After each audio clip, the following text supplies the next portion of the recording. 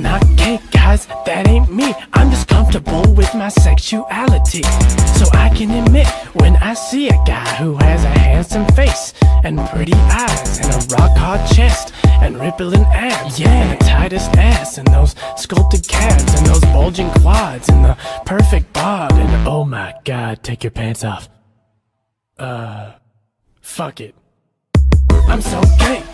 I'm fucking gay. I'm the dude wearing yelling, hey! I'm the dude at the party who will grab your butt. And when you turn around and look at me, I'll be like, what? So gay, man.